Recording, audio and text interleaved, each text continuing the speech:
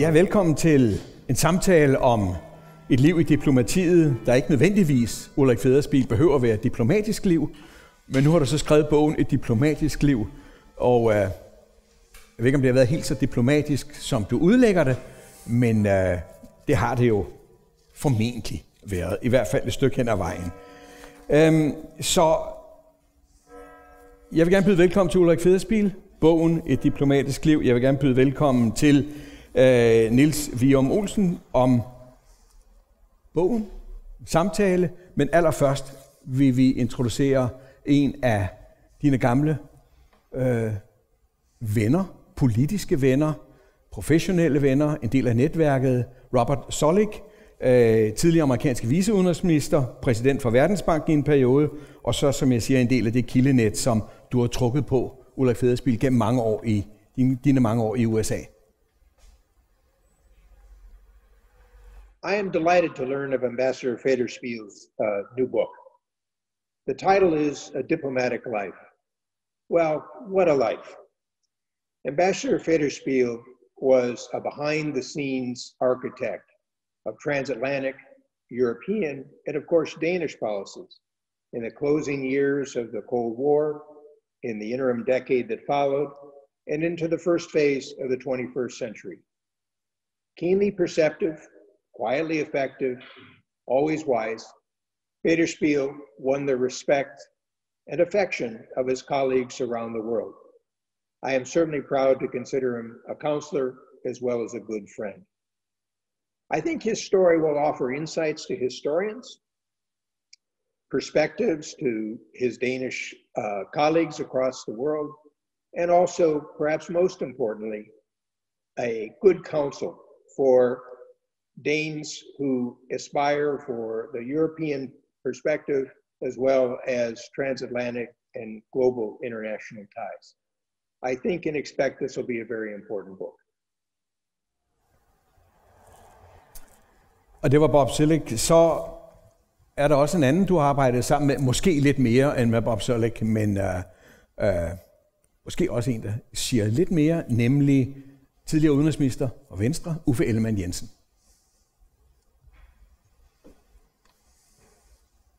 Ulrik Federspil er jo en mand at få ord. Det ved alle, der kender ham. Så derfor er det egentlig ganske imponerende, at han altså har fået brugt over 500 ord på den her mobbedreng af en bog om øh, et diplomatisk liv. Men gudskelov han har gjort det, for det er blevet til en værdifuld bog, som jeg tror, at statskundskabsstuderende og forskere vil komme til at bruge rigtig meget tid på øh, i de kommende år. Øh, her fortæller en mand, der har nået de allerhøjeste poster i den danske statsadministration. Han fortæller noget om det arbejde, der foregår i maskinrummet. Øhm, Ulrichs karriere er jo overvejende sket i øh, diplomatiet, med en lille kort afstikker til øh, først en forskningsopgave, og derefter i statsministeriet som departementchef. Men ellers er det diplomatiet.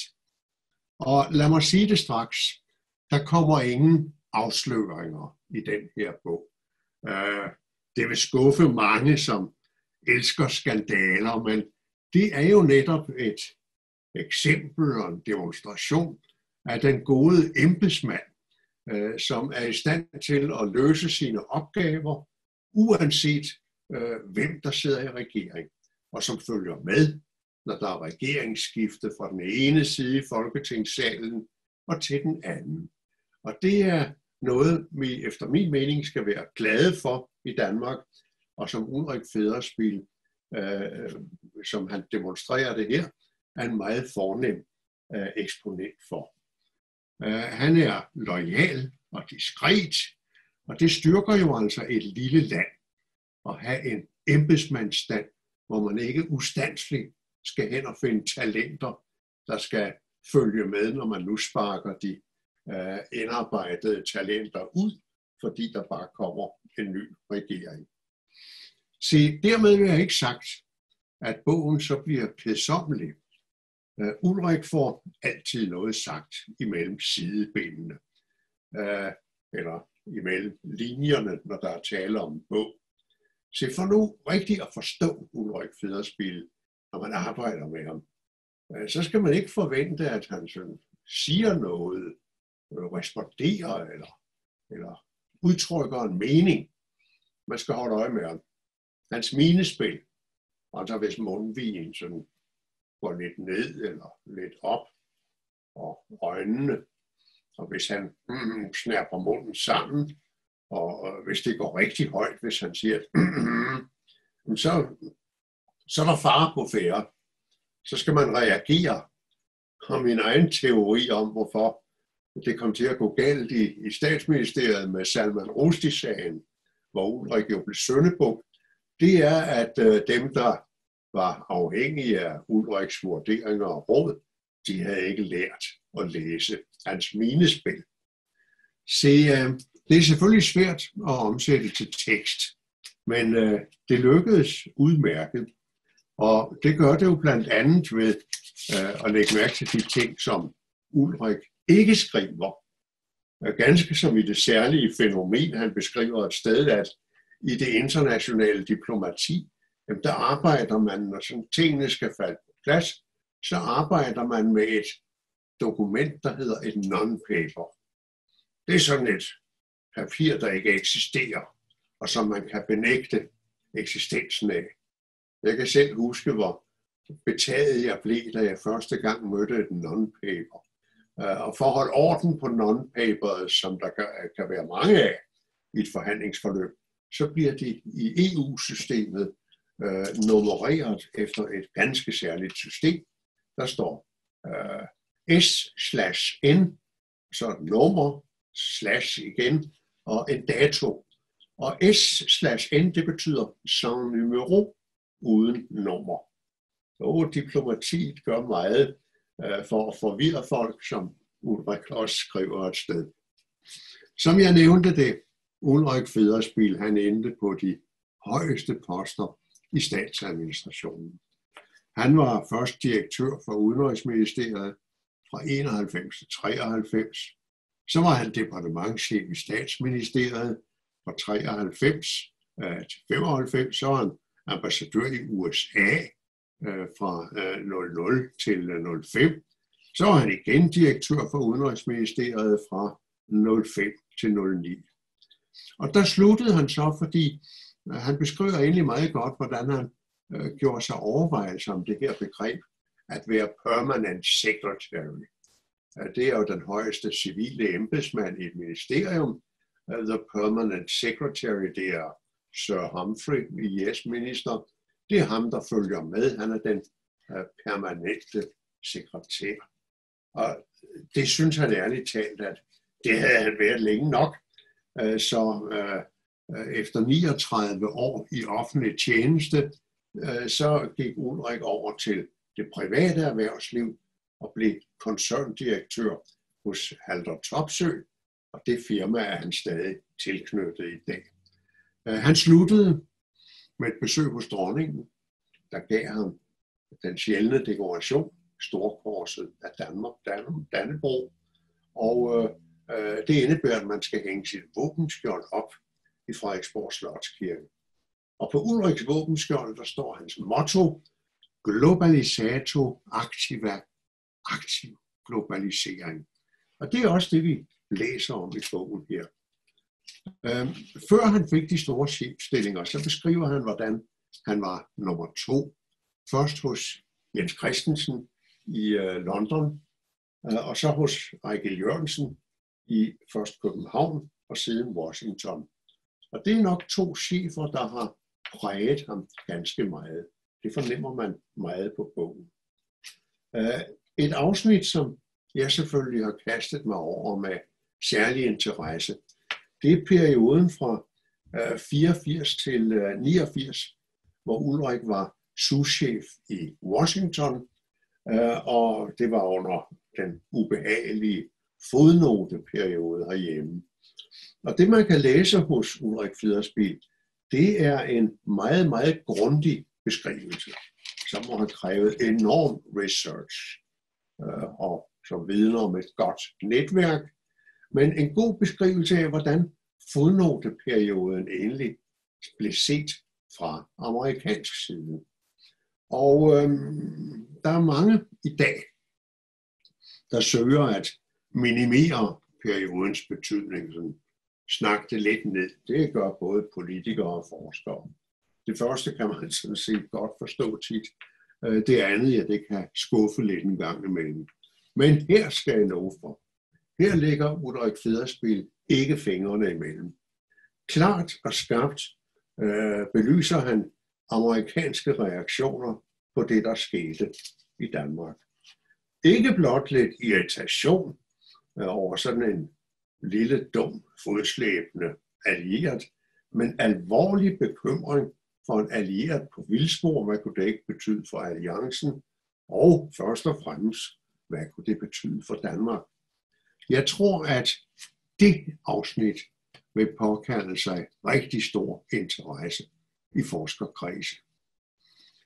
Øh, Ulriks afsluttende bemærkninger er en slags øh, testamente, kan man sige, over den verden, der gik af lave efter 9-11 og Sovjetunionens sammenbrud, finanskrisen og Kinas frembrusen.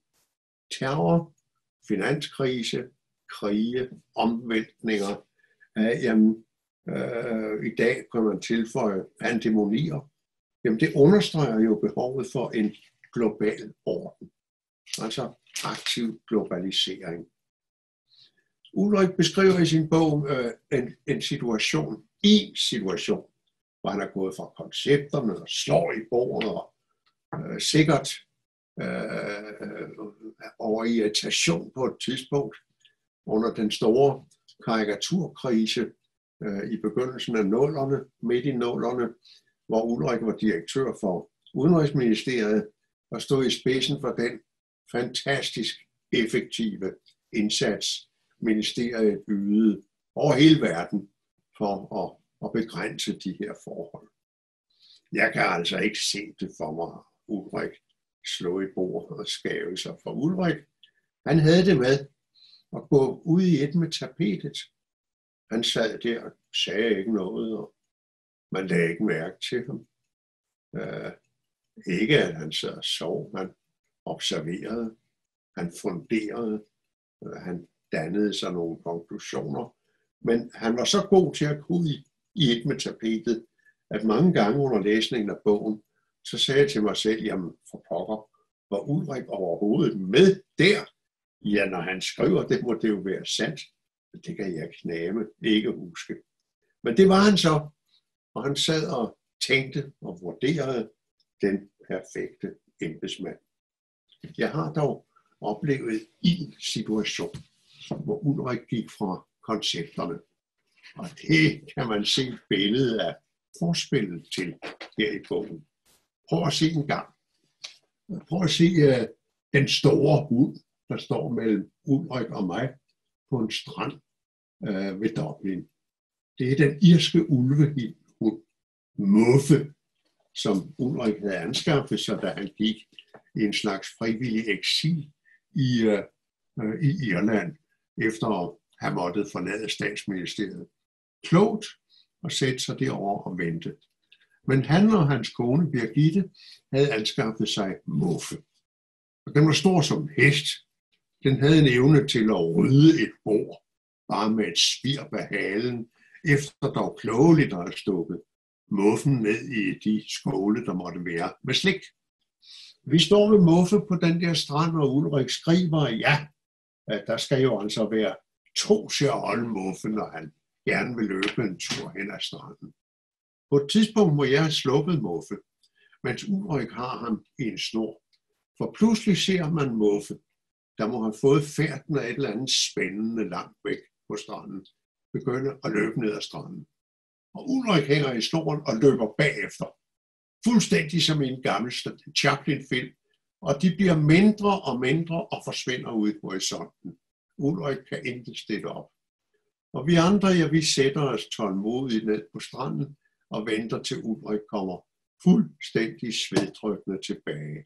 Jeg tror, at Muffe den dag skulle være glad for, at Ulrik ikke var i gala-uniform med sabel.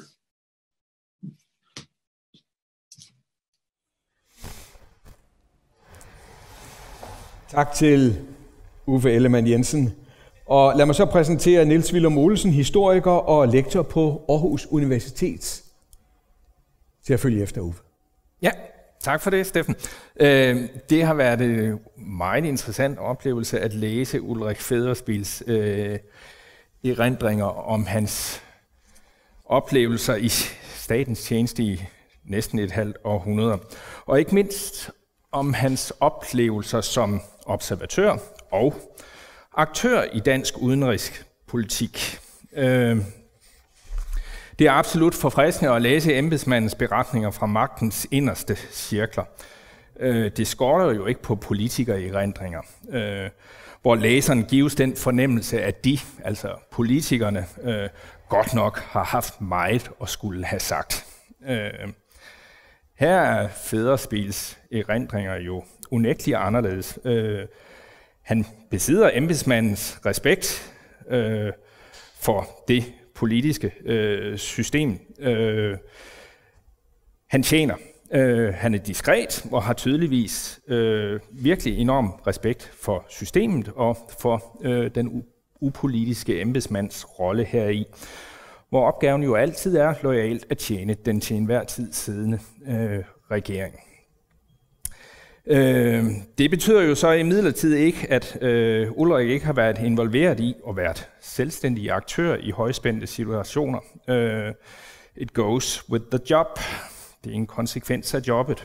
Øh, og hvorfor det egentlig så meget, øh, med så meget e- ekstra eftertryk i øh, Ulrik Federspils tid som øh, embedsmand.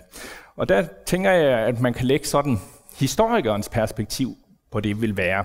Øh, noget om udenrigspolitikkens demokratisering og dens politisering. Øh, de to ting hænger uløseligt øh, sammen. For hvis vi ser på det 20. århundrede, øh, øh, så har forvaltningen af udenrigspolitikken øh, i de vestlige samfund i hvert fald været karakteriseret ved en fortløbende demokratisering og politisering af udenrigspolitikken. Øh, de første spæde skridt så vi efter Første Verdenskrig. Det hed sig, at den ulykkelige krig blandt andet skyldes det bilaterale og hemmelige diplomati mellem staterne. Magtfulde mænd havde skaltet og valtet med freden, uden tydeligt ansvar og uden fornemmelse for de lidelser, de pålagde almindelige mennesker ved at sende dem i krig, eller dem, der var øh, derhjemme. Nu skulle udenrigspolitikken multilateraliseres, altså ordnes i kollektive fora og bringes ud i det åbne for befolkningernes øjne. Verdens, og her menes man jo, mener man jo først og fremmest, Europas sikkerhed skulle ordnes i Folkeforbundet. Øh, det gik som bekendt ikke så godt, det her med øh, sikkerheden og Folkeforbundet. Øh, det endte i 2. verdenskrig. Men fiaskoen blev nu aldrig øh, øh, tillagt øh, principperne bag. Altså der var ikke noget som sådan bag det at demokratisere øh, udenrigspolitikken. Og man kan jo også sige, at øh, det fortsatte under 2. verdenskrig. De europæiske modstandsbevægelser, det var der udtryk for en demokratisering af udenrigspolitikken, kan man roligt sige. Nu hævdede unge mennesker med våben i hånden øh, i ramme alvor, at de ville de definere landets øh, udenrigspolitik. Det havde man alligevel ikke set før. Og så fortsætter udenrigspolitikkens demokratisering og multilateralisering i øvrigt fortløbende i efterkrigstiden. FN, Marshallhjælp, NATO, OECD og ikke mindst EF. Øh, det, den her demokratisering den skete ikke kun på baggrund af institutionernes udspring af formelt demokratiske processer, den skete også på baggrund af øh, efterkrigstidens uddannelseseksplosion og kommunikationsteknologiens evne til at gøre verden mindre. Med bedre uddannelse ville flere have indflydelse, forståeligt nok, og med radio og tv så blev Kina og ikke mindst USA noget, der lå lige om hjørnet. Opmærksomme udenrigspolitiske aktører i Danmark de faldt fra begyndelsen interesse for det europæiske fællesskab, der blev etableret i slutningen af 50'erne. Man prøvede i 60'erne, men De Gaulle ville ikke have Storbritannien med, og så skulle Danmark heller ikke nyde noget. 10 år senere lykkedes det så, og Danmark blev medlem af EF, øh, foruden at medlemskabet i sig selv var udtryk for en demokratisering af udenrigspolitikken, så betød EF-medlemskabet, at spørgsmål, som hidtil havde været varetaget af nationalstaten, det nu blev varetaget i dette øh, øh, fælles europæiske øh, forum. Det måtte naturligvis kræve større demokratisk kontrol med den del af udenrigspolitikken. Og det førte til oprettelse af blandt markedssekretariatet øh, forud for Danmarks formelle tilslutning til EF i 73. Sekretariatet, hvor Danmark skulle forhandle forholdene for Danmarks tiltræden til EF. Øh, og så i øvrigt skulle sekretariatet også give input til en kampagne forud for afstemningen.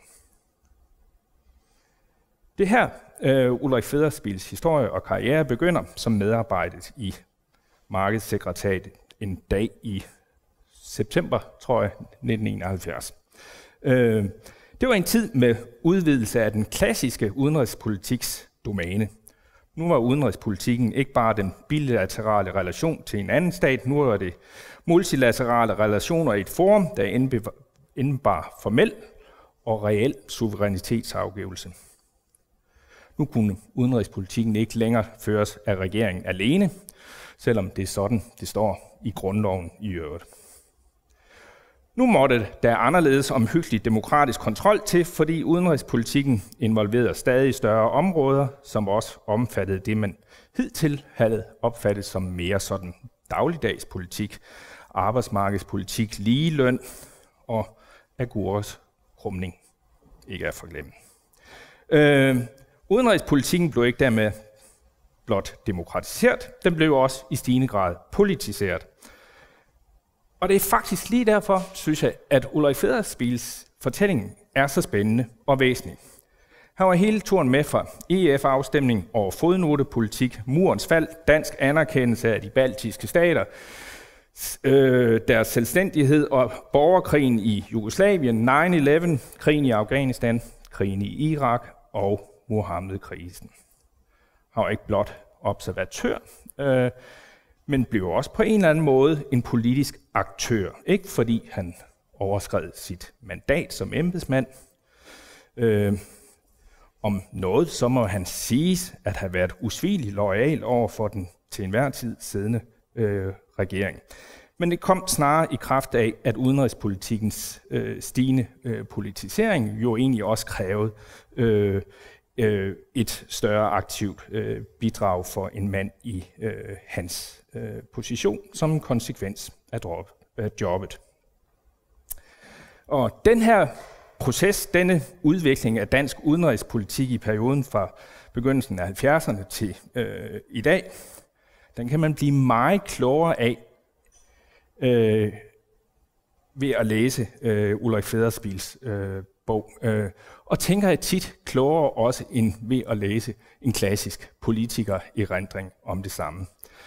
Ulrik Federspil sad på første parket som tilskuer, øh, men han rejste sig også i ny og næ og tog del i det, der foregik oppe på scenen. Øh, tak for det, og tak for den spændende beskrivelse af den udvikling af dansk udenrigspolitik i cirka 40 år.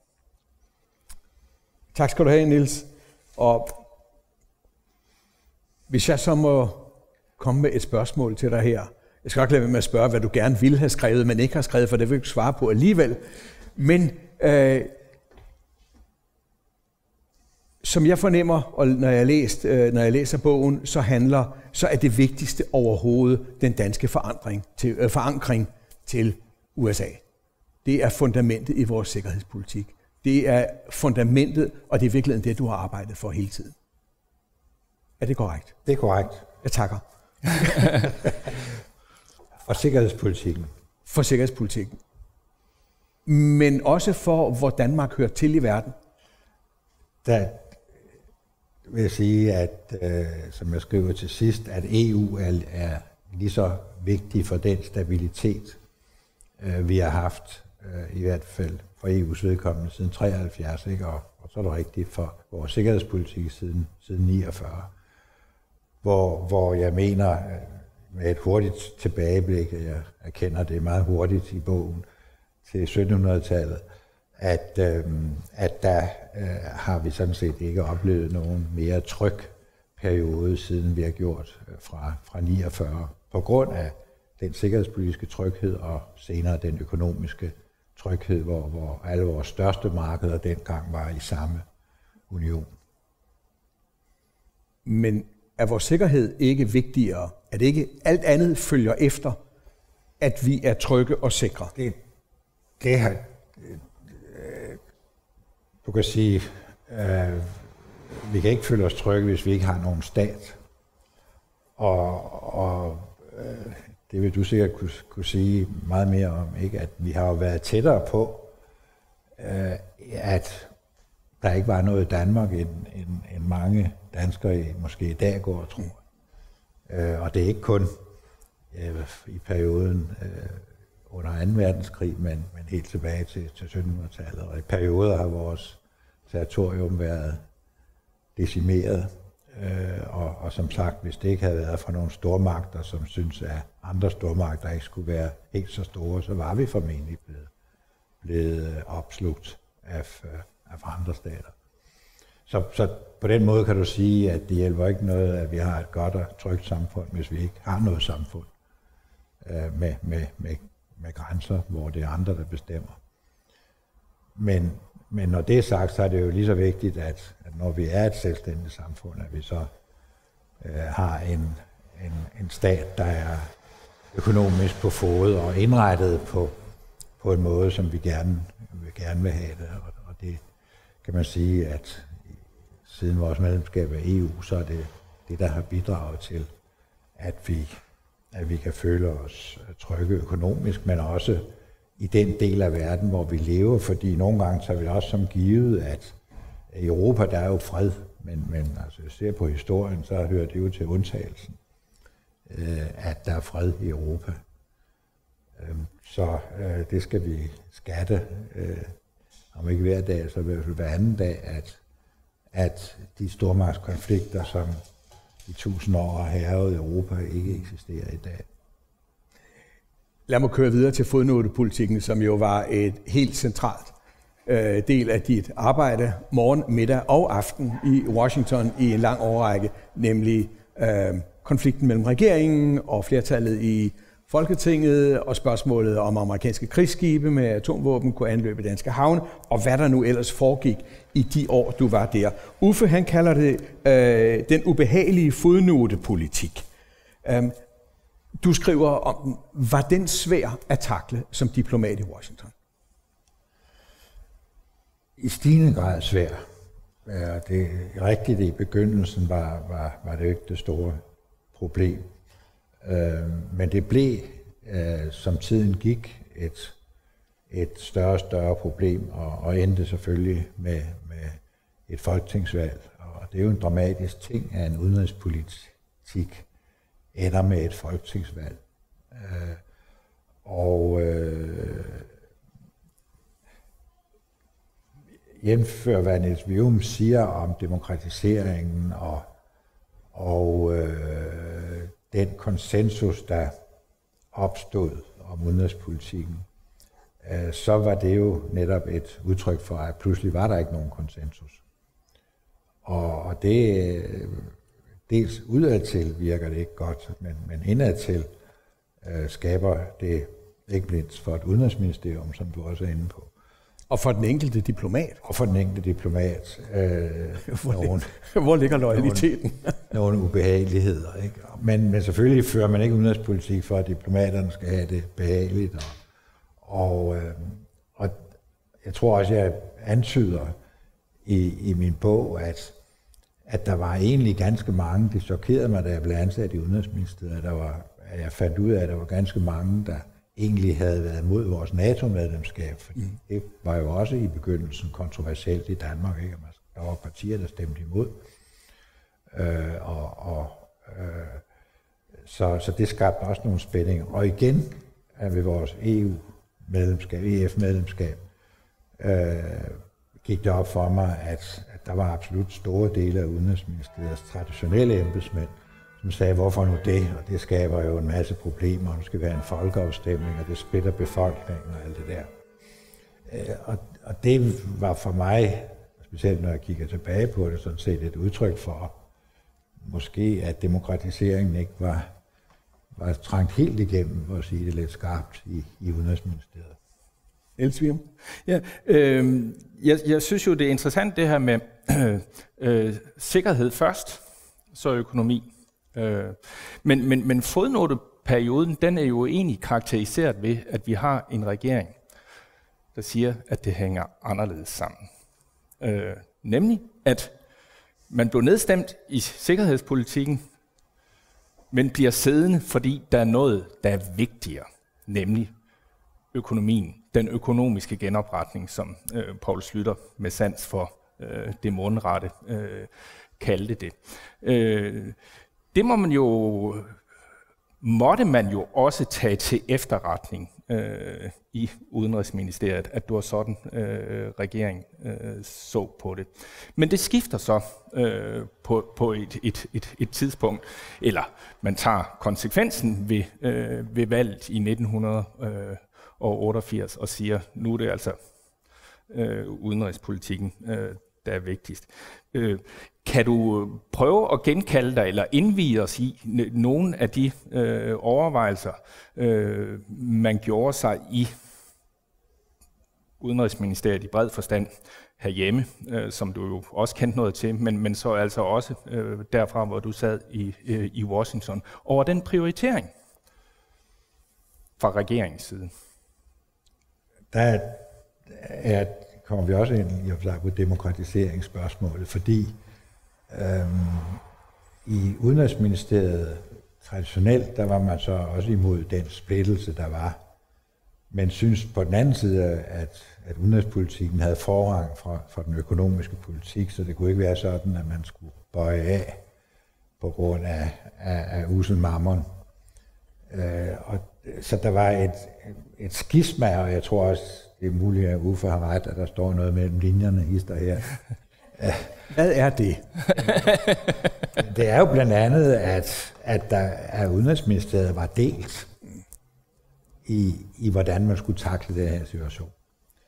Og hvis man skal sige sådan, det var ikke helt øh, asiatisk plads kontra ambassaden i Washington, men sådan i det store træk var det nok sådan. Asiatisk plads, som jo selvfølgelig var tættere ved den politiske proces, sagde, at vi vil ikke have alt det vrøvl der, så vi, kan vi ikke lade være med at tage en fodnote. Og vi sagde fra ambassaden, og specielt min ambassadør, Ejgil Jørgensen, nej, vi må stå fast. Vi skal holde på det atlantiske, som du var inde på. Ja.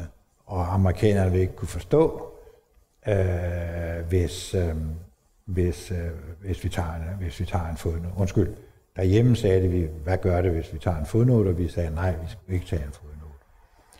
Så der var et, et helt klart skift. Der var også enkelte i ministeriet, der og så må sige holdt med ambassaden.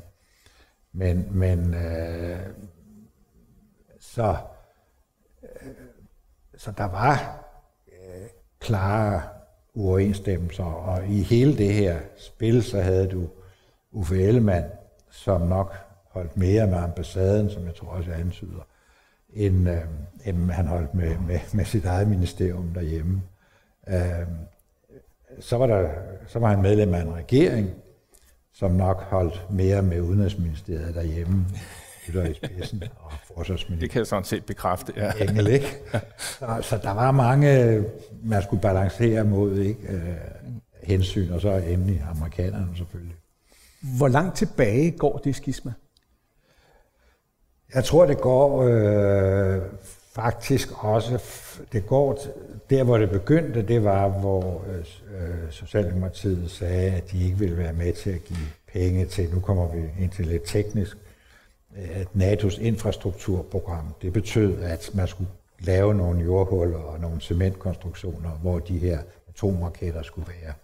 Og der havde man forpligtet sig, også den socialdemokratiske regering i 89, til at, 79, til at øh, give penge til det her. Øh, og der kan jeg huske, det gik så vidt, at Anker Jørgensen som statsminister kom over, ikke for at tale med hans udenrigsminister, Kjeld Olsen, men for at tale med direktøren for Udenrigsministeriet, Arkel Jørgensen. Og Arkel Jørgensen skældte Anker Jørgensen ud.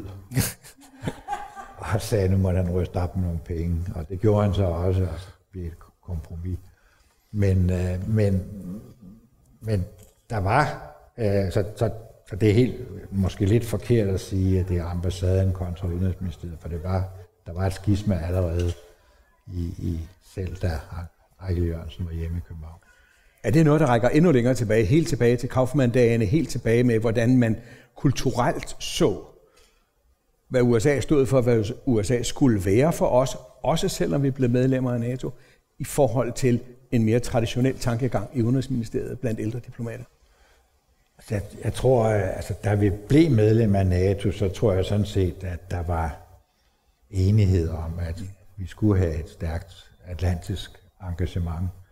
Men langt hen ad vejen, så øh, konkurrerede vi lidt med Norge, stadigvæk havde et, et, et plus i, øh, i NATO og i, ikke mindst over for USA, fordi øh, de ikke kapitulerede, øh, da tyskerne kom, da, da nazisterne kom.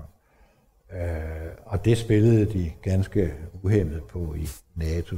Det kan jeg så selv huske som, som helt ung. Hvad mener du med uhemmet?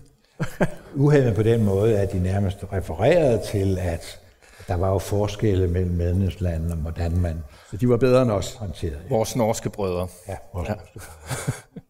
så, så og det irriterede os selvfølgelig grænseløst. Noget af det, du, jeg tror også, var det Uffe, eller har du selv øh, sagt, skrevet det, nemlig, at der er tidspunkter, hvor vi virkelig ikke ved, hvor tæt vi er på, at alliancen med amerikanerne øh, bryder sammen. Altså, jeg, jeg mener, at, at det, det vil også... Du har et mere nuanceret syn på det måske end jeg, men... men det var venligt sagt. men, øh, men altså, jeg førte forhandlingerne, som jeg skriver, med amerikanerne om det udkast til dagsorden. Og som jeg skriver det, jeg mener det er både først og måske forhåbentlig var jeg også ved at sige sidste gang, at vi forhandler en dansk dagsorden Folketinget med en, amerikan, med, med en udenlandsmagt, uanset hvem det er. Det er trods alt noget af det, vi selv skal bestemme. Det gjorde vi altså, med fuld viden af Socialdemokratiet og selvfølgelig regeringen. Uh, og der mærkede jeg altså, at de skulle virkelig, der trak vi på hele kreditten, mm. uh, for at få amerikanerne til at sige OK. Ikke? Og som jeg skriver, at det var formentlig kun fordi, at processen blev shortcuttet i Washington, så det hvide hus slog i bordet og sagde, nu gider vi ikke at høre mere, vi siger ja øh, til, til danskerne. Lad os, og så kommer vi ind på det kontrafaktiske, hvad nu hvis de havde sagt nej, eller at Slytter havde tabt folk, øh, valget, og at Socialdemokratiet, det kan man så spørge sig selv, om de så havde gennemført den dagsorden, som de selv havde stemt for. Det kan man, der er en masse visser, men lad os nu hypotetisk sige, at det var gået sådan, at den dagsorden, nemlig at hver kaptajn skulle øh, på tro og love sige til havnemesteren i, i Københavns Havn, at han ikke havde atomvåben med bord. Det ville amerikanerne ikke være med på. Og det er der, jeg tror, at man, man øh, tager lidt fejl af amerikanerne, og det, specielt det amerikanske forsvar. Fordi de tager sådan set de garantier, de giver, og de føler, det er dem, der giver det. Det kan godt være, at præsidenten også giver det, men de giver det i hvert fald, at, øh, at de vil forsvare et eller andet land med alle disse rådighedværende midler. Og det kunne de jo ikke, hvis vi sagde, at vi ikke ville have atomvåben under nogen omstændigheder. Øh, og så ville de amerikanske, i spil, den amerikanske flåde, som var meget stærk, og som var dem, der øh, vel først og fremmest skulle komme til vores forsvar, de vil sige, at det kan vi ikke, for vi, vi, øh, vi kan ikke forsvare Danmark mod et sovjetisk angreb. Og det er der, jeg siger, at, at så ville det danske, det kan godt være, at vi stadigvæk være medlem af NATO, og måske også den såkaldte artikel 5 musketeriet ville, ville, ville være, så der nogen ville sige, at vi vil nok komme til jeres forsvar, men, men det, det kan ikke blive lige nu, eller der er andre, vi først skal forsvare. Og hele den usikkerhed øh, vil ikke være rar at leve med. Øh, og ikke mindst i forhold til Sovjetunionen, ikke? Mm. som jo stadigvæk var, var en trussel. Øh, at de kunne spille, jeg siger ikke, at Sovjetunionen ville invadere Bornholm dagen efter, men de kunne spille på det i hvert fald, også indrigspolitisk, at vi ikke var fast forankret i NATO. Det er det, jeg mener. Er det det kritiske tidspunkt i det dansk-amerikanske forhold? Ja. Det er det? Det er det. Helt afgjort. Ja. Jeg, jeg, jeg vil jo gerne prøve at presse dig lidt på det her, fordi altså, øh, nu hører jeg jo ikke til, til, til, til, til øh, de historikere, som, som, som mener, har jeg sagt, at Socialdemokratiet havde rent mel i posen øh, hele vejen, og de havde ment det samme tilbage i 79. Jeg mener, der er i høj grad et element af socialdemokratisk indrigspolitik i øh, fodnoteperioden. Ikke? Altså, de vil genere slutter regeringen. Øh, det, som slet ikke burde være der, ikke? Altså sådan i socialdemokratisk øh, selvforståelse. Ikke? Men, men, men, men øh, begivenhederne op til valget i 1988, altså det, det er jo... Øh, det er jo hæftigt inficeret med øh, indrigspolitik også. Ikke? Øh, og øh, jeg, jeg spørger mig selv, øh, man, man kan jo faktisk ikke læse alt ud af de skriftlige kilder, selvom jeg øh, nok mener faktisk, at jeg har haft næsen i de fleste, både de amerikanske og øh, øh, danske kilder øh, om, og, om, om, om, om situationen. Men et element af spil for galleriet i den dansk amerikanske situation. Altså som om amerikanerne øh, vil sige, øh, øh, altså som du var inde på, altså enten slut færdig, eller øh, så bliver det i hvert fald på nedsat øh, øh, øh plus øh, det her alliancesamarbejde. Ikke? Men om der ikke var et element af, at et samspil, som jo også antydes med den her, øh, at man sidder og flikker øh, dagsordenen sammen i Washington, ikke? Og at man kan jo se der, der øh, slutter øh, ved den dramatiske dag i Folketinget, hvor der har været det her store øh, opgør med øh, Svend Auken, og de siger gensidigt om hinanden, de lyver. Øh, øh, at han nu siger, nu vil vi afvente 10 dage, afvente situationen i 10 dage, hvor vi vil indhente øh, øh, synspunkter fra øh, vores allierede venner. Øh, og kunne man jo også oversætte til mere profan dansk, at øh, nu bestiller vi lige nogle alarmistiske budskaber fra Washington, London, øh, Paris måske også, ah, der kunne man ikke hente så meget øh, på det tidspunkt, øh, om at nu er alliancen øh, i fare. Ikke? Øh, Slytter skulle ikke engang bruge alle 10 dage, han udskrev valg fem dage senere. Ikke? Men et element af, altså at amerikanerne også bevidst spiller ind i dansk indrigspolitik og måske giver en hjælpende hånd?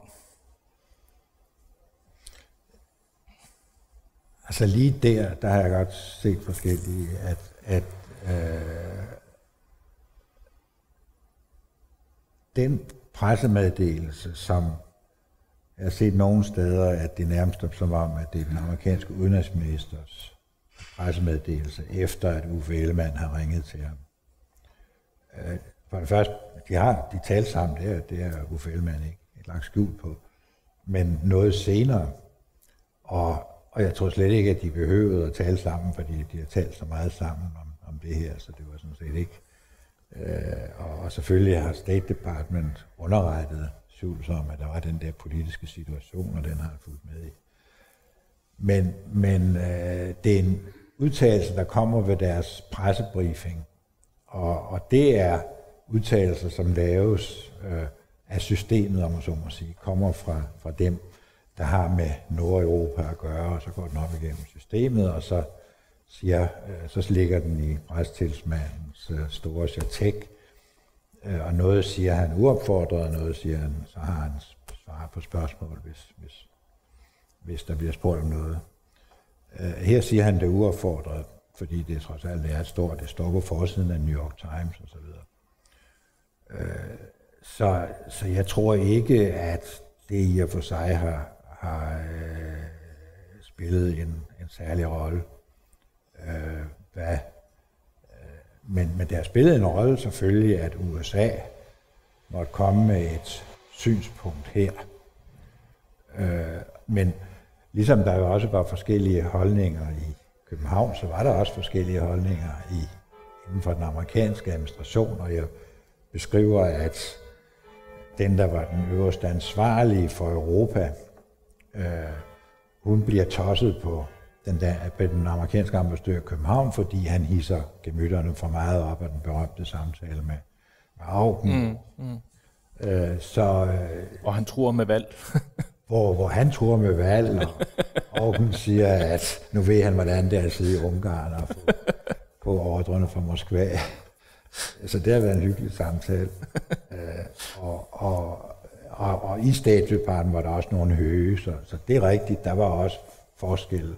Men jeg tror, den var kon- konsoliderede holdninger. Det, øh, jeg kan ikke, man havde ikke computer dengang, men det var næsten at trykke på en computer, og så kom denne her meget barske og så mm. udtalelse. Når jeg, når jeg læser den i dag, så er der ikke meget diplomati i den udtalelse. Mm. Øh, når man så læser aviserne fra dengang, så, så er det ligesom om, og faktisk også folketingsdebatten, har man ikke rigtig fornemmet den udtalelse øh, betydning. Øh, og det er jo ikke Uffe, der har siddet og skrevet den, altså, og jeg har heller ikke skrevet den. Så, så. så ja. Må jeg prøve at springe nogle år frem, men lidt øh, i, samme, i samme spor, det dansk-amerikanske forhold. Da vi beslutter os for at deltage udenom FN i Irak-krigen i 2003, var det en dansk manifestation af, at øh, hvad skal vi sige, en bodsgang fra alt bøvlet, og nu har vi et mulighed her for at gå med i noget, øh, som formentlig på det pågældende tidspunkt ikke ser ud til at give de store negative, øh, irriterende, langsigtede konsekvenser. Gik vi med for at tækkes amerikanerne og demonstrere, at det er der, vi hører til. På trods af, hvad tyskerne, på trods af, hvad franskmændene gjorde. Nu var det jo ikke mig, der traf beslutningen. det var, det var primært statsministeren. Men jeg synes, det er interessant, hvor meget man kan tilskrive fodnotepolitikken, at ingen ønskede at komme tilbage, heller ikke Socialdemokratiet. Og øh, jeg tror, det er noget, du har skrevet, at, øh, som har set i de socialdemokratiske protokoller, at var det nu en, en, en fælde, regeringen var ved at lave, jeg mener det på det her tidspunkt, siger man internt i den socialdemokratiske gruppe, at de skulle gå med i Irak, og hvis de ikke gik med i Irak, så ville de få med fodnote stokken. Øh, så så sent spiller det en rolle, at da man vil ikke tilbage, så ender det med så, at det er specielt de radikale, der hiver i, i nødbremsen og ikke vil med i første omgang. Øh, men men øh, øh, ingen vil tilbage til den politik. Øh, Lyrup skriver også i sine rendringer, at, han ville i hvert fald ikke tilbage til den. Så, så jeg tror, at det spiller en rolle for oppositionen, men det spiller også en rolle for, for Anders Fogh, og det siger han jo i en tale, ikke? At, at nu skal vi øh, fri af, af alt det der, ikke? og få fuldtonet fuldtonet flag. Og hvad betyder spillet med tyskerne? Hvad betyder det med franskmændene, den tyske og franske beslutning? Altså, for der skiller vi os øh, jo ud fra vores nærmeste europæiske allierede. Altså, det, det for familien har spillet en rolle der, men jeg kan bedømme det over fra, fra Washington, som jeg også antyder, at, at øh, der var øh, øh, ikke så få af de europæiske allierede, som sagde, at det er da godt, der er nogen, der går med. Vi kan ikke, tyskerne kunne ikke på grund af deres, deres forfatning. Øh, franskmændene ville ikke på grund af deres historie og forhold til USA. Og, øh, og, så, så der var mange, der faldt fra. Så var nogen, der ikke kunne og ikke havde styrker til det osv. Så, så øh, der var jo en erkendelse af, at der måtte være en livlinje til, mm. til Washington, ellers gik de helt i sort, øh, ikke mindst i kongressen, men selvfølgelig også øh, præsident Bush selv og hans administration, ikke? At, at her kommer vi at bede om noget, ikke? Og, og, og, og så vil I ikke gøre det, og, vi, og så kommer det også op i den høje tonelag, ikke? at vi kom to gange Europa til hjælp ikke? i første og anden verdenskrig. så kan I ikke engang hjælpe os her. Så det var hele den her diskussion, som, som kom frem der, ikke? og der øh, besluttede regeringen så, at vi skulle stå sammen med USA. Ja. Øh, det med øh, frygten for, at fodnotepolitikken vendte tilbage fra den socialdemokratiske gruppe, det er ikke krigsudredning, det er skrevet. Det er faktisk ikke noget, jeg har skrevet. Oh, ja, ja. Men, men, men, men, men det, øh, jeg har nu et, et, et, et spørgsmål, fordi det spillede vel også en, en, en rolle, altså øh, fodnotepolitikken kunne jo ikke gøre det alene, men, men altså, der var nogle strategiske overvejelser efter den kolde krig, ikke, hvor amerikanernes tilstedeværelse i Europa øh, var bestemt af, at, at fronten gik altså i den kolde krig gik I jo i, i Europa. Den var der jo ikke længere. Hvordan skulle man holde amerikanerne inden øh, fortsat, altså i, altså i forhold øh, til at engagere sig øh, i 2003. Ikke? Præcis. Ja. Og det er, jo, det er jo et aspekt, som man lidt glemmer i Europa, ikke? At så, så stærk er altså interessen ikke i at, at, at, holde, øh, at holde Europa efter tror også, jeg skrev i sidste kapitel, ikke, at, at, at Europa var blevet set som et boldværk mellem USA og Sovjetunionen. Ja. Øh, men når du ikke har noget Sovjetunion, øh, så er du ikke i samme omfang brug for, for det boldværk. Og øh, det er jo ikke noget, som de holder store taler om på den anden side af Atlanten, men, men det kan man, når man taler med kongresmedlemmer, så siger de det ganske klart. Ikke? Ja. Mm-hmm. Må jeg prøve at hoppe op til nutiden? Og nu skriver du ganske vist i bogen, at de, de sidste 10 år har du ikke sådan rigtig fordybet dig i. Det har du nu nok alligevel, øh, bare på en anden måde. Men hvis du sammenligner det at skulle være kors, øh, sluder, ikke korrespondent, ambassadør i Washington i dag, med den tid, du var der. Fordi noget af det gennemgående, du også fortæller om, det er vigtigheden af netværket. Det er mit indtryk, at diplomater i dag i Washington har meget, meget svært ved at have et netværk. Fordi dem, de gerne skal netværke med i administrationen, i det hvide hus, i National Security Council osv., de roterer meget, meget, meget hurtigt ud. Hvad gør det ved, en, ved jeres evne som diplomater til at føre udenrigspolitik over for amerikanerne, til at være øh, til at få forbindelser, til at være til stede, til at påvirke tingene, hvis ikke I kender dem? Vi skal tale med, eller hvis udskiftningen går så hurtigt, som det rent faktisk gør i øjeblikket? Jamen det, det er helt, helt afgørende, og, og jeg har haft øh, stor glæde af, at jeg var der i 80'erne, mm. og øh, da jeg så kom tilbage i, i nullerne, så var dem, jeg kendte i 80'erne, øh, de var så rykket rykket op i. i, i de højere luftlag, og, og så kunne vi genoptage forbindelsen, så havde vi haft noget forbindelse i mellemtiden. Men det har været en, en enorm hjælp, og det øh, er jo sådan, at, at øh, det er jo meget de samme personer, øh, øh, som er en republikansk. Altså, mm. Og så kommer en demokratisk, så nogle andre personer, men dem kender man også, så kommer de tilbage i tænketankene, og så sidder de der og hygger sig i fire til otte år, og så kommer de ind i administrationen igen. Så derfor i Washington dyrker man både administrationen, men også tænketankene, fordi man ved, at de kan komme ind ved næste administration. I den nuværende situation, der tror jeg, at enhver vil sige, at med det tempo, som de ledende embedsmænd øh, skiftes både i det hvide hus og i State Department og i Pentagon, så er det meget svært at operere. Mm. Øh, i, øh, fordi der, der kommer nye, og, og så er det heller ikke nye, der kommer nødvendigvis fra tænketankene, de kommer fra, fra rundt omkring fra landet og private firmaer. Så hvad gør det ved vores evne, en ambassadørs evne til at projicere sit lands udenrigspolitik, holdninger, tanker over for det hvide hus i dag? Jeg tror, det, det er sværere, det, det ved jeg jo også, hvad jeg taler om med mine efterfølgere, at det er, det er sværere. Øh, og for alle, for, for, for, egentlig for alle ambassader. Øh, og, og det, gør, altså det bidrager til det usikkerheden i, i verden, og det er jo, det er jo sådan set mit, mit hovedpointe til sidst, ikke? At, at der er en meget stor usikkerhed nu, og så gælder det om at holde fast i de internationale organisationer, som, som vi var inde på indledningsvis her.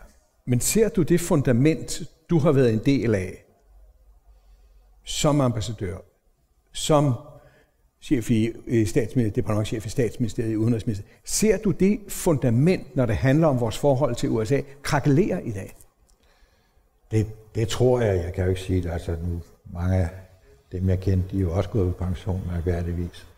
Øh, så altså, det er der ikke noget mærkeligt i, men, men jeg, jeg tror, at det er meget vanskeligt, fordi øh, det fundament, der har været øh, i, i USA, og det, det glemmer man lidt, at det, der er jo et embedsmandssystem, selvom de politiske udnævnte, de er højere, så er de jo, fungerer de meget som os, som embedsmænd. Ja. Dem, der er tilbage. Dem, der er tilbage, ja. ja. Men der, der er jo egentlig noget, noget ironisk. Man kan sige, at i, i, i, i 2000, man kan se en konstant, om jeg så må sige, i, i, i dansk udenrigspolitik. I 2003, øh, der valgte man USA øh, i, i stedet for Europa, øh, og fik en masse ulykker ud af det, i hvert fald i, øh, i, i Mellemøsten. Øh, nu er USA øh, et, et stort råd, øh, men vi vælger stadigvæk USA, øh, og på trods øh, af Europa. Ikke? Jeg mener, altså dansk udenrigspolitik er vel kendetegnet ved, at man lige for tiden, at man ikke er særlig interesseret i Europa, og øh, i forhold til USA, der vil man aldrig sige absurd en gang til. Ikke? ikke? Altså, øh, det, det er vel dansk udenrigspolitik i en nødskal, ikke? Og Ulrik Federspil, hvad har du at sige til det? Jeg er meget enig med Niels. øhm, jeg vil udtrykke mig på en lidt anden måde, men, men, øh, men øh, altså vi, vi, vi ligger jo altså i Europa, det kan vi ikke, øh, det kan vi ikke benægte, selvom godt nok vi har Grønland, som ligger tættere ved, ved, øh, ved USA, men, men øh, vi ligger i Europa, og, og vi skal jo heller ikke gøre nogen illusioner om, at vi kan ikke føre udenrigspolitik via USA. Altså, vi, vi, er, vi er en lille spiller. Ja, vi kan have en sikkerhedsparaply, en sikkerhedsgaranti, og vi kan, vi kan diskutere og få informationer, der er også påvirket lidt. Men, men øh, det er jo slet ikke sammenlignet med i EU, hvor vi har en lovmæssig påvirkningsmulighed via mm. afstemningsregler og meget andet. Øh, øh, at, øh, at vi er mere ligestillede, og hvis Europa ellers kunne tage sig sammen, så vil vi i denne her usikre periode øh, kunne spille en rolle, og det er det, man måske kan se konturerne ved, ved at Frankrig og Tyskland er ved at starte den velkendte, i historisk velkendte, men desværre ikke i, i nyere tid, motor op. Og hvis den virkelig kommer op i omdrejning, så kunne man håbe, at Europa og dermed også Danmark kommer til at spille en større rolle. Men den synes vi jo ikke at bryde os om. Det, øh, nu kommer du ind på noget helt aktuelt. Øh, det kan jeg ikke lade være med, det ved du. Nej, du, øh, ja, godt. Men, men øh, jeg tror nu, at, at, at øh, det vil vi alligevel kunne gøre, øh, at bidrage til den motor. Jeg, jeg tror i hvert fald ikke, vi pludselig kan hive i nødbremsen eller hvad, og sådan noget i en bil øh, og stanse den motor, og det vil i hvert fald være højst ubehageligt. Ulrik Federspil, tak skal du have. Du har nogle afsluttende bemærkninger, ved jeg. Jamen, jeg, jeg vil bare... Øh, de afsluttende bemærkninger går i og for sig kun på det, jeg lige har sagt, at, at vi øh, skal øh, stive de internationale organisationer af, som vi har en vis indflydelse på, og, og ikke mindst i denne her tid øh, øh med, øh, med et USA, som, som lukker sig om sig selv, så må det være EU, øh, at vi kan gøre en indsats, både for stabiliteten i Europa, som vi heller ikke kan givet, som jeg har sagt tidligere, men også for Europa kan spille en rolle og stabilisere forholdene lidt i verden og spille øh, den rolle, som Europa tidligere har, har spillet i international politik. Så det håber jeg øh, sker.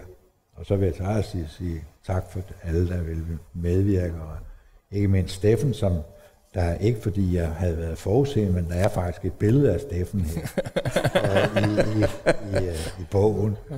Og ikke mindst Niels Vium, som har været stor hjælp, ikke kun i dag, men også under hele processen. Tak skal du have, og tillykke med bogen.